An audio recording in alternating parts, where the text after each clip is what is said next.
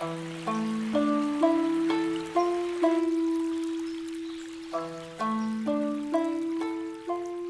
Country.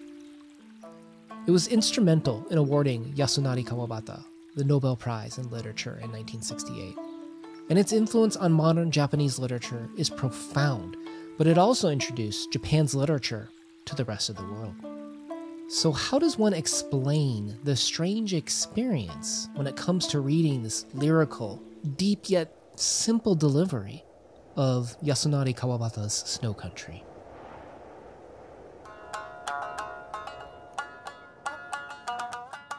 Mono no aware, a term that many people claim to be untranslatable. The closest definition people seem to agree upon is an awareness of the transience of things.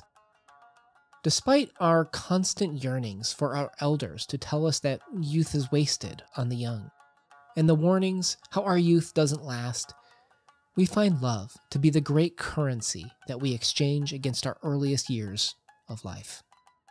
Defining an impermanence, who we are, against the eternal of our memories, is where Snow Country lives.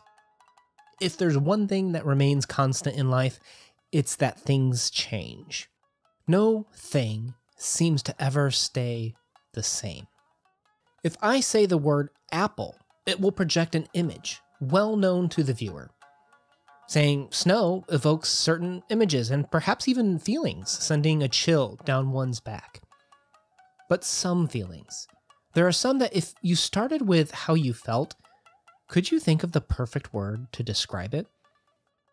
Shimamura, the main protagonist of Snow Country, searches for his mono, his thing, through this novel. He's an ambiguous character sometimes spiritual, dancing on the edge of sensuality, he never defines himself in relation to Komako. He never defines his mono. Aware is much more difficult to translate. It's an expression dating back to the Heian period. It is best translated to compassion, pity, sorrow. It's a word that defines itself almost externally. It's a reaction to the thing.